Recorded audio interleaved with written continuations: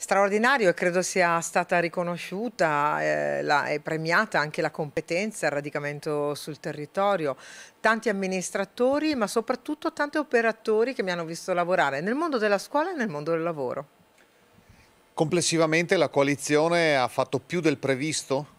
La coalizione ha fatto qualcosa di straordinario. Luca Zai ha fatto un risultato che nella storia della politica non ho ritrovato, segno di una grande capacità di interpretare il sentimento del popolo veneto e anche di un'ottima capacità di amministratore. E quindi ora dobbiamo guardare avanti e portare a casa gli obiettivi che ci mancano.